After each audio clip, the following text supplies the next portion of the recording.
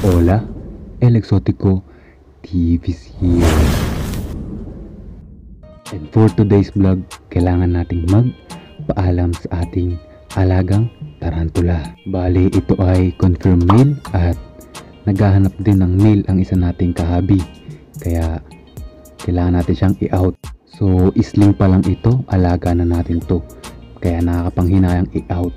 So, niready ko na ang kanyang temporary na paglilipatan.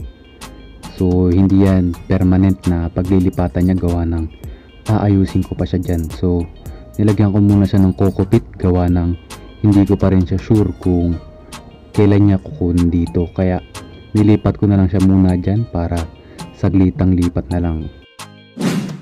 So, nangihinayang talaga ako na i-out to gawa ng napakaliit pa lang nasa akin na. Pero wala tayong choice kundi i-out siya. Kasi alam naman natin na kapag malapit na pag matured ang ating mga tarantula lalo na kapag male ito ay saglitan na lang ang kanyang buhay. So sana i-breed siya ng magiging panibagong owner niya no? Panibagong amo niya. So sana alagaan din siya na maayos. Kaya all goods na ako dun at kilala ko naman din na kung sino yung paglilipatan nito so nandyan na siya at i-ready na natin. Para di tayo malungkot papakitaan ko kayo ng simpleng takedown. So bigyan natin siya ng lads yan so ito ang ating Heterometrus longimanus. So napakasimple ng takedown niya no? Yun tinusukan pa siya. So ayan. Sana medyo happy na rin ang ating vlog. Lapit ko yung camera para makita natin kung paano siya mag mukbang.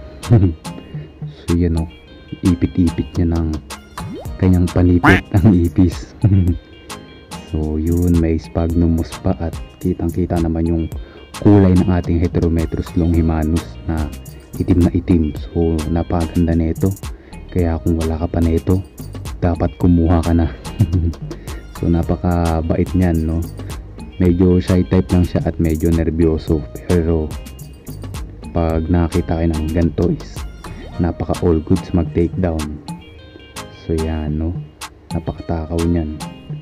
So ganun lang ang take down niya. Napaka simple balik naman tayo dito sa ating Terotoketel albopelosum na nakakalungkot gawa ng kailangan niya talagang lumisan Hmm, pero all goods lang gawa ng mabibreed naman siya siguro ng ating panibago niyang owner no? So napakaganda niyan no? At kitang kita naman na walang panot yan hindi stress at babying baby ko yan no?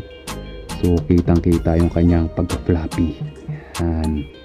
Napaka cute ang sarap niya yakapin pero napakakati niyan. Muchas gracias guapito sa pagpapasaya sa atin no? Sa 2 years na pagsasama natin Bago natin tapusin ang vlog na ito, gusto ko lang i-shoutout si Tol Sling Web. So, meron din siyang YouTube channel at isubscribe nyo na rin. Comment nyo dyan sa baba kung ano ang pinaka nakakamiss nyong alaga. Paniguradong mamimiss ko to at sana maging babe siya sa panibago niyang amo. Muchas gracias everyone at mag-ingat tayong lahat. So, ito ang dati niyang lalagyan. Ayan napaka goods at may springtails pa ako nakikita. So paniguradong gagamitin ko rin to. Hmm. lilinisin na lang. At yun no? Nakakamiss to. Sayang sayang